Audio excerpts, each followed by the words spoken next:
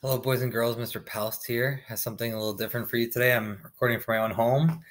Uh, this is where kind of our workstation, our homework table. Okay. And I have an amazing story for you today. My shirt says Smokey the Bear. It says keep it green. Smokey the Bear, they used to have commercials when I was younger about um, you know, preventing forest fires.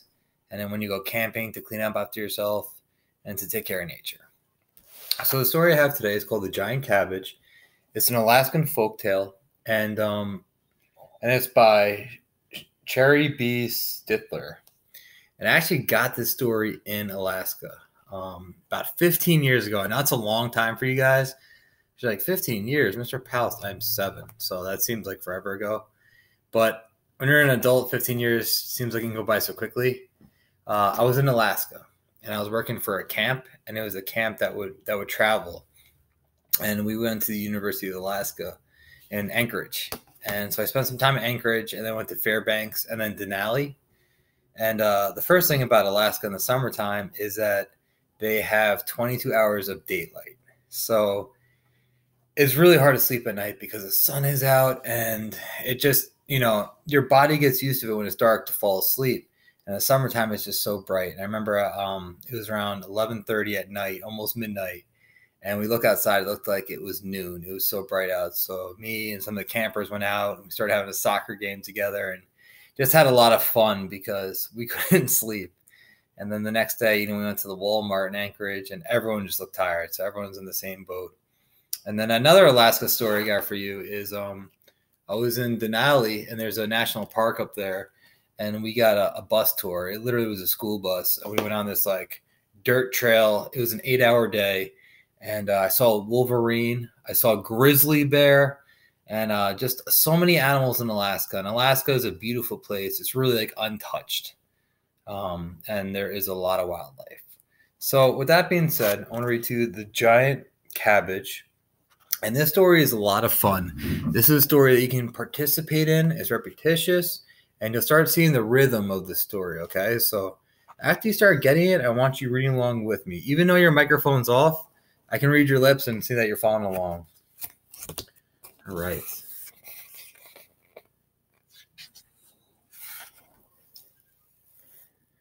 Moose looked out at his wonderful garden. He had rows and rows of tasty vegetable. The fair starts this week. I need to find my best cabbage for the giant cabbage contest. The vegetables had all grown very large under the midnight sun.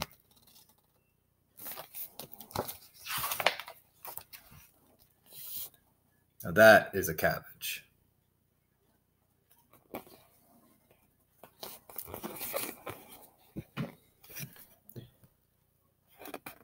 Then he saw it.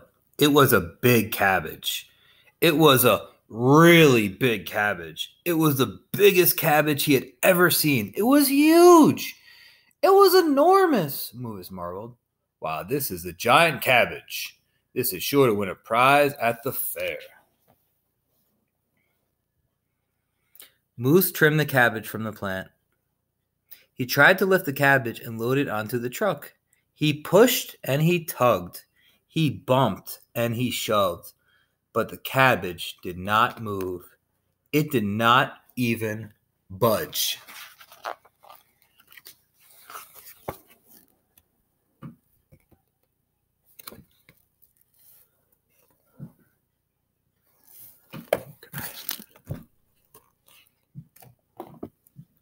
Just then, Bear waved hello as she pedaled home from the library.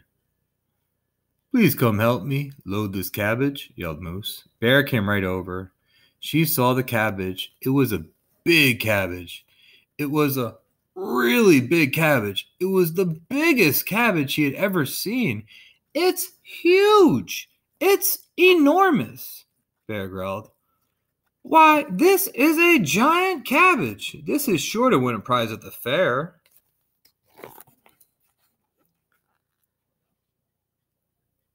I cannot lift this cabbage alone, said Moose.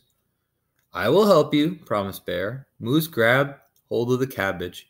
Bear grabbed hold of the cabbage. They pushed and they tugged. They bumped and they shoved, but the cabbage did not move. It did not even budge.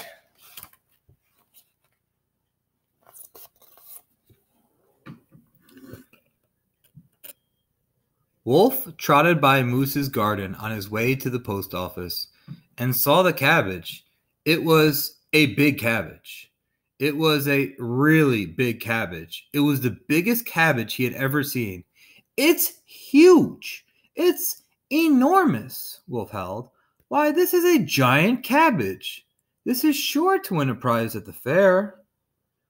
We cannot lift this cabbage alone, said Moose. I will help you, promised Wolf. All these friends helping. Moose grabbed hold of the cabbage. Bear grabbed hold of the Moose. Wolf grabbed hold of the Bear. They pushed and they tugged. They bumped and they shoved. But the cabbage did not move. It did not even budge.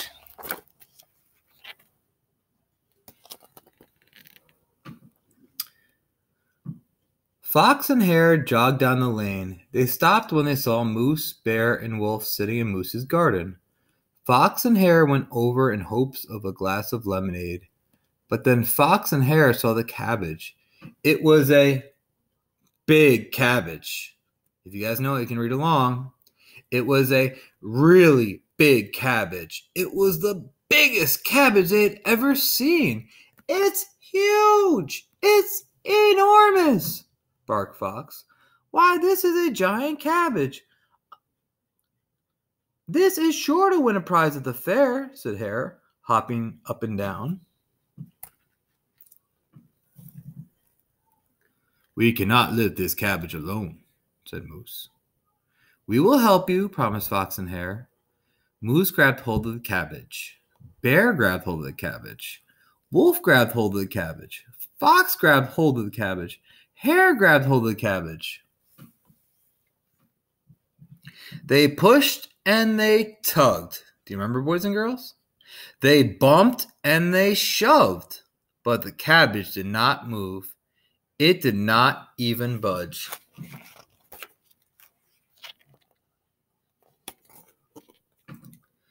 Old Porcupine waddled along then. She saw her friend sitting in the middle of Moose's garden. Old Porcupine's eyes were not as sharp as they used to be, but she soon saw the cabbage. You know it, boys and girls. It was a big cabbage. It was a really big cabbage. It was almost the biggest cabbage her eyes had ever seen. Say, that's a pretty big cabbage there. That giant cabbage could win a prize at the fair, Porcupine said. We cannot lift this cabbage alone, complained Moose. I will help you, promised old Porcupine. But first, we need some tools. Old Porcupine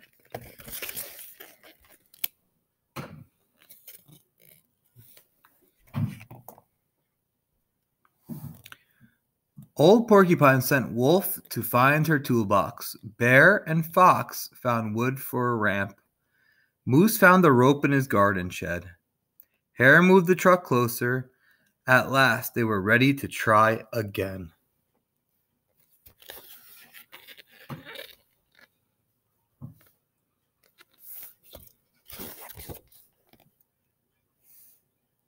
Moose grabbed hold of the cabbage. Bear grabbed hold of the cabbage. Wolf grabbed hold of the cabbage. Fox grabbed hold of the cabbage. Hare grabbed hold of the cabbage. And old porcupine grabbed hold of the end of the rope.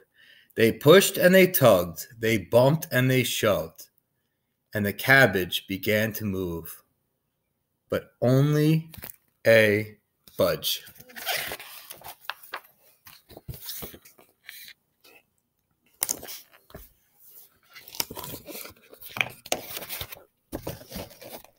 Squirrel scampered down from his tree to see what all the fuss was about. He saw the cabbage, Ready, boys and girls? It was a big cabbage. It was a really big cabbage. It was the biggest cabbage he had ever seen. It's huge. It's enormous, Squirrel chattered. Why, this is a giant cabbage. This is sure to win a prize at the fair. Well, it might, Bear sighed. but we have not been able to lift this cabbage. Have you tried a stick? suggested Squirrel. I use sticks to move rocks that cover my cache of nuts. The animal friends thought this was a splendid idea. This may be just the thing we need to load this cabbage onto the truck, said Wolf, pulling over a strong branch. Wolf grabbed hold of the cabbage. Bear grabbed hold of the cabbage. Wolf grabbed hold of the cabbage, and Fox grabbed hold of the cabbage. Hare grabbed hold of the cabbage, Old Porcupine grabbed hold of the ends of the rope, and Squirrel grabbed hold of the branch.